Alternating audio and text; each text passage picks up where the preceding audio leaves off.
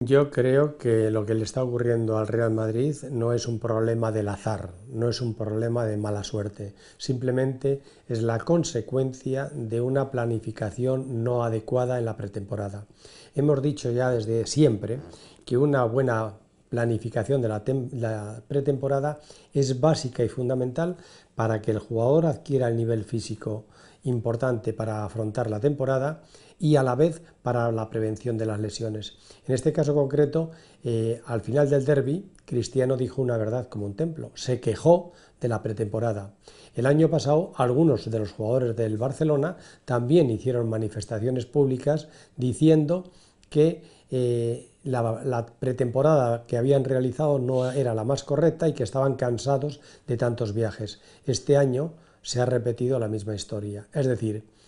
equipos que no realizan una buena pretemporada, eh, directivos que anteponen los eh, problemas económicos a los problemas deportivos, al final terminan con toda esta serie de problemas de lesiones. Yo no solamente lo creo, sino que lo afirmo. Yo creo que Ronaldo lleva totalmente la razón en estas manifestaciones y yo al menos, como, como profesional del fútbol, así lo he entendido. Eh, Ronaldo, por su constitución física, por su preparación, está eh, físicamente como un toro, está fenomenal. Lo que pasa es que él, precisamente por estar también también no ha tenido ninguna lesión. La inmensa mayoría de los jugadores del Real Madrid han tenido lesiones, han estado en el disque seco y luego les está costando más recuperar el tono físico que tiene Ronaldo, con lo cual eh, las declaraciones vistas exactamente sin salirnos de estrictamente de lo que ha dicho, yo creo que es correcto.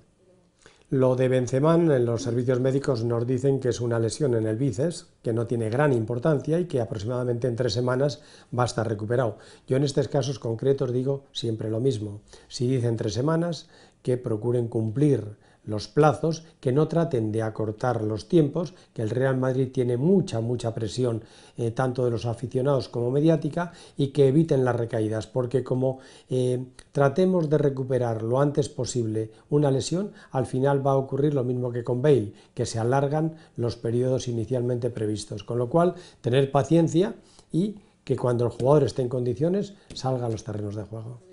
Hombre, todos los traumatismos que se producen en el, en el fútbol eh, no son tan importantes desde el punto de vista patológico como las lesiones de tipo metabólico, con lo cual yo pienso que un golpe en una semana aproximadamente el jugador estará en condiciones de saltar a los terrenos de juego.